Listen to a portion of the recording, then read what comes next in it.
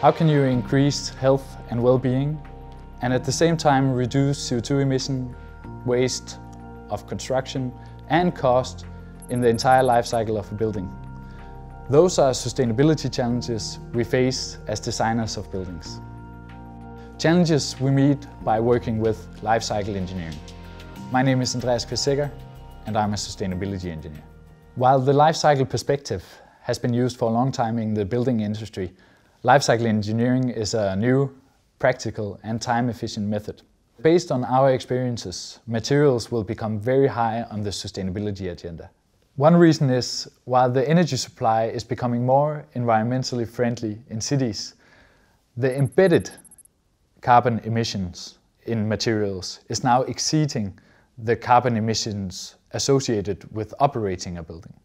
That means that we now need to look more into materials from extraction, to the use of materials and the end of life.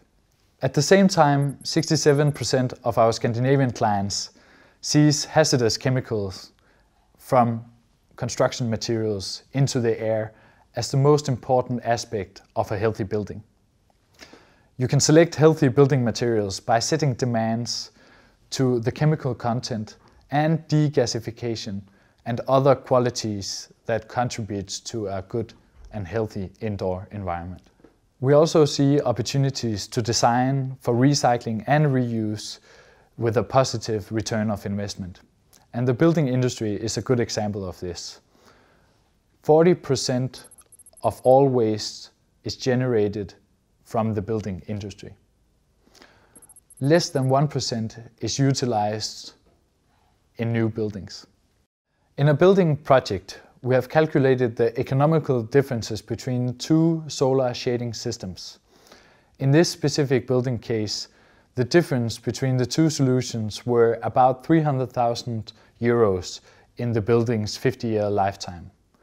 This, together with other parameters such as indoor environmental qualities, were used to make a optimized design solution for the building.